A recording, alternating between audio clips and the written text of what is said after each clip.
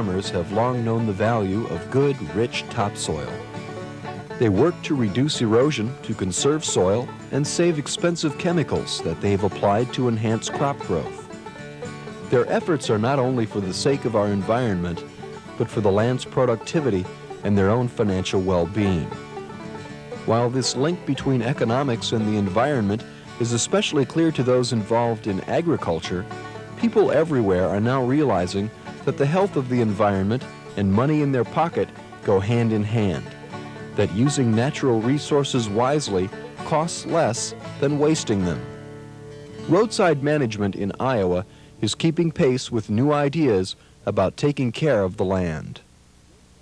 Every county in Iowa has around 2,000 miles of roadsides, six acres for each road mile. Altogether, roadsides cover about 900 square miles of Iowa. County governments that manage roadsides make decisions that affect the environment and the taxpayer's pocketbook. Al Ehley works for the Soil Conservation Service. He says the old dirt roads in Iowa were the basis for Iowa's extensive road network. Basically, every section line in Iowa has the, had the potential or is a, uh, is a road. And this is uh, quite, a, quite a bit more extensive of a road system than um, most states in the nation. During the 20s and 30s, Iowa's dirt roads were upgraded, creating a network of all-weather roads. They were crowned to allow for drainage, and ditches running along either side of the roadways were designed to catch drifting snow. This road system became vital to the many rural communities and farms in the state. The upgrading of the road system created steep, bare roadsides that were very difficult to manage. Weeds quickly invaded the bare ground, and erosion on the steep slopes washed the soil away. In the past, county governments used the same methods to control weeds and erosion in roadsides that farmers used to produce hay and pasture, seeding with brome and alfalfa, mowing, and broadcasting herbicides.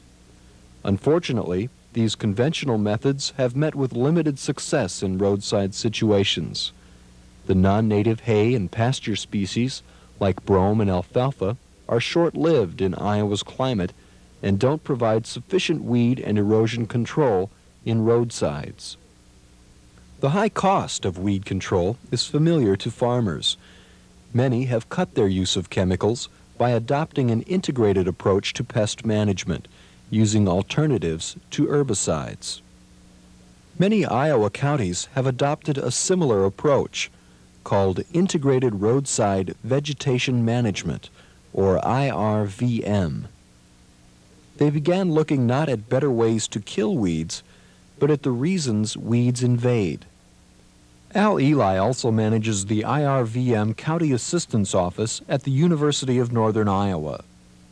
Our approach is, is uh, first off looking at the vegetative cover, uh, realizing that the non-native vegetation begins to lose its vigor after a period of time, we decided that uh, to prevent problems from existing in roadsides, let's try a different uh, vegetative cover.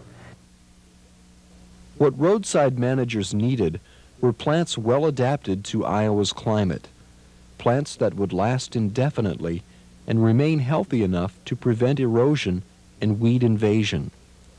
Do such plants exist? They've been here all along. They covered the prairies long before corn was introduced falling upon uh, the use of native vegetation seemed almost natural. It's the type of vegetation that developed in Iowa's soils, in Iowa's topography and, and weather conditions. And so um, it be, it, we find it's uh, more tolerant of the cold winters, the hot, dry summers, and uh, can persist through droughty periods. So it's, it's a more aggressive, a more long-lasting vegetative cover. Uh, so it fulfills the, the demands that we place on the vegetation in our roadside. The idea of using native prairie plants on the roadsides, however, is more than a decision to change the type of seed you put in the planter. Daryl Smith of the University of Northern Iowa studies prairie reconstruction and helped start the IRVM program. He says roadside management is similar to prairie management. Basically what we're doing in prairie roadsides is trying to restore the prairie remnants that are there. So there are certain management techniques that we use in managing prairies that we use in managing these uh, roadside remnants, such as burning or maybe enhancing certain species by a particular management program. Same thing goes with reconstruction. When you start planting a roadside that's been under construction, you're basically doing a prairie reconstruction project. There may be a few nuances, but the side of the ditch may be a little bit steeper than we're used to, but basically those are the, the things that we did in prairie reconstruction, and so we're taking that information directly and applying it to the roadside situation. Integrated roadside vegetation management has transformed the entire emphasis of roadside management from treatment of problems to prevention of problems, from controlling weeds to managing the entire plant community. Plant communities develop in certain predictable stages. This process is called succession. Roadside managers must pay close attention to the stage of succession in roadsides. Areas where vegetation has been removed are first colonized by weedy annual plants, then perennial flowers and grasses, followed in some areas by shrubs and trees. In most of Iowa, the highest level of succession is characterized by the native prairie grasses. In a healthy prairie community, desirable plants use up all available moisture and nutrients, leaving nothing for weeds. They occupy all the space both in the root zone and on the surface. The goal of IRVM is to keep the plant community in the highest stage of succession possible that you're managing it to put the plants in that are at the end of the succession. So you're eliminating weeds just by the type of vegetation you use. So that reduces your weed control costs, e either by mowing or herbicide use. The conventional practice of planting poorly adapted non-native species creates an ever-increasing need for weed control. Controlling weeds by mowing and spraying interrupts succession counteracting the goal of IRVM. They were mowing this vegetation very closely and they were keeping everything in a very early stage of succession. So essentially you were encouraging weeds to remain there all the time and not undergo the regular process of succession. But we're getting rid of the blanket or broadcast spraying where they just spray everything in sight, which basically drove the whole roadside back to the early stages of succession and encouraged more weeds to develop. Carefully planned spraying and mowing, however, can help push the plant community toward the higher stages of succession. In certain cases, you may have to mow periodically. You don't mow as close as they used to mow. That still may be a, a recommended measure in certain places. And then we're not recommending, as a part of the integrated program, eliminating spraying because we will do spot spraying for particular weed problems that we have. By spraying only the problem areas, counties actually kill more weeds with less herbicide.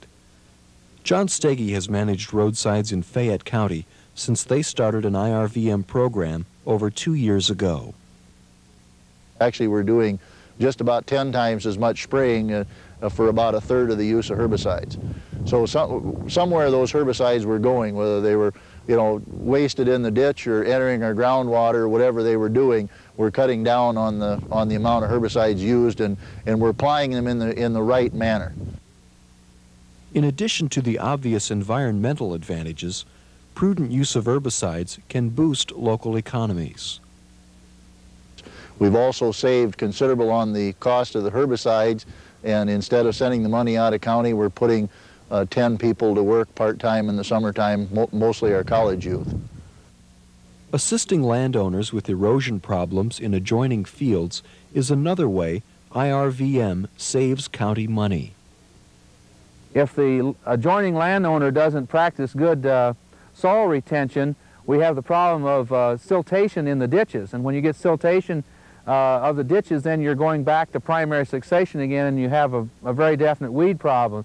In fact, many of our weed managers or, or roadside managers can drive down the highway and if they see giant ragweed growing there, they can almost predict that that person has an erosion problem there that's keeping that at the primary stage of succession. Ditches filled with sediment must eventually be cleaned at considerable expense to taxpayers. One of the responsibilities we have is working with landowners to help reduce sediment uh, problems. And this year we did our first uh, terrace project on a farm that uh, had a lot of sedimentation in the ditches. The key to an integrated approach is treating each segment of roadside individually instead of assuming that all roadsides are the same. mentioned before, treating them as a manageable resource instead of a necessary evil. And I guess when we, when we started out in the program, one of the things we like to emphasize is the integrated and the management part of it. And so we can use, if we have one ditch that requires a certain uh, type of treatment, we can go in there and, and do one specific treatment to help solve the problem. Uh, we have ditches where maybe a controlled burn is the right thing to use to bring back some of those prairie remnants. And we can schedule that controlled burn in the spring of the year at the right time and, and do that. And another ditch, we may have to go in there and, and reseed, maybe do some interseeding with our no-till drill. And we can schedule that at the proper time to, to bring that back. And, and maybe the ditch has to be cleaned out and, and the dirt hauled away to a road fill or a driveway project somewhere and, and then after it's, it's reshaped again and back to what it normally should be, then we can go in there and reseed. By providing food and cover, IRVM may bring back some of the wildlife displaced by intensive farming practices. Some people have indicated, well, if you're increasing a habitat right adjacent to the road, you're just inviting the animals in to be killed. And certainly that's something that we, we're not particularly interested in doing. We would rather not see that happen. Roadside managers must consider where wildlife should be encouraged and where it shouldn't. Not all roadsides are good for wildlife habitat, especially some of those roads that may have a, a high number of vehicles per day. And so the roadside manager will sometimes want to take uh, and utilize those tall grasses or medium-sized grasses where ground nesting birds might be nesting uh, through the summer and place those to the back side of the right-of-way. The first step towards starting an IRVM program is to contact others in your county that may be interested. So it's kind of a, a process of first forming a committee, developing the plan, and then making the proposal to the supervisors and, and finally uh, hiring a roadside manager. The County Assistance Office at the University of Northern Iowa can be a big help in starting a program and making it work. They can supply information, training, educational materials, and other services. Any successes that one county may have, we share that with the other counties, so there's a continual um, sharing and reviewing of information between the counties. We act sort of as a clearinghouse for county roadside information. Arnold Webster grew up in rural Iowa and remembers when roadsides were sanctuaries for native plants and animals. No, you, you can't pin me down to back in the days when the bison roamed the plain and uh, things like that. No, but we farmed with horses, yes, for a while. There's nothing now like that old dirt road used to be. That was a, a place where people would uh, they, they used to have Studebakers and things like that in the days when I was young, uh, when they would uh, drive especially on the highway to see the, and of course they picked them. I know people would uh, pick armloads of prairie flowers, and some appreciated and some didn't. That old dirt road is now blacktopped. For a while it was uh, a gravel road, and uh, now it's wide and high and people can traverse it without fear of snowdrifts like we had and so that's what happens to it and when they laid it off it's a picture for an engineer I'm sure of precision and uh, for a biologist it's uh, a picture of uh, desolation and that's the change. And what we're seeing in this roadside management is a restoration to the beautiful and uh, useful. Integrated roadside vegetation management can provide Iowans a glimpse of their past. Instead of a perennial headache for county governments, this 900 square miles of Iowa soil could become a self-sustaining tribute to our prairie heritage. A constant reminder of where our state's rich soil came from. John Miller farms near Cedar Falls, Iowa. Well, I think as we as farmers look at a prairie today, we only see remnants of it. We have in the, in the state little preserves, small areas. Maybe they're in a schoolyard. Maybe they're on the backside of a cemetery. Maybe they're a state preserve. But more and more farmers are becoming aware of their heritage and the prairie strictly by looking in the road ditch because that is really the, the, the benchmark, the history that is most evident. As we go up and down the roads around here, for example, we'll see the big blue stem, the Indian grass, the switchgrass, and that's really our heritage, and it's evident. In addition to enhancing environmental quality, nurturing wildlife, and improving our state's economy, IRVM has one thing going for it that appeals to almost everyone. Integrated Roadside Vegetation Management Program is a win-win situation. Not only is it the right thing to do, it's cheaper than the other way. Uh, and if you look at it in the long run, I think that's uh, probably undoubtedly true. Perhaps the most attractive benefit of IRVM is that it efficiently solves a modern problem by bringing back a little of Iowa's past. The past is not all bad, you know. The past has given us some wonderful things. Just look at me.